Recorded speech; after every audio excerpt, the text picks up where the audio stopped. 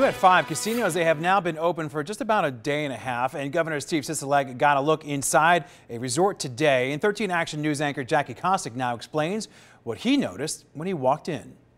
Well, it's officially been 79 days since Governor Sisolak ordered the shutdown of all casino operations here in Nevada. And today, he took a tour of the Wynn, which is one of the first casinos to reopen on the Strip.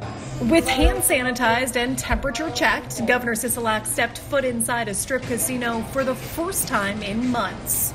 Las Vegas is open. It's a great place to come and have a good time. We look forward to welcoming everybody back. The governor joined chairwoman of the Nevada Gaming Control Board, Sandra Morgan, and Wynn executives for a show and tell of what's new on the casino floor. We're seeing things like plexiglass and signage all over. Obviously, all employees wearing masks, and very encouraged here to see a lot of the guests wearing masks as well. Although there are no official numbers, Sisolak says he's hearing from resort execs that reservations are running well, both for this weekend and future bookings. We didn't expect there to be, you know, people crushing in the door. I mean, you saw some of that downtown at 12:01 a.m. But you know, what they've done is a very responsible way to open it up and to get people in here. Even with new health protocols in place, resort casinos can only do so much.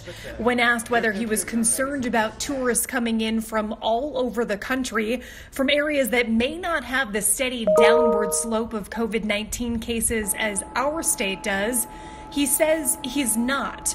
Rather, he says it's good to see locals, tourists, and employees back. Even though they're all wearing masks, you can tell they're smiling, and I appreciate that. Sisolak says it may be a steady and long road back for Vegas, but today was reason enough to smile. So a lot of people winning jackpots, so it's a place to come and win some money. Jackie Kostic, 13 Action News.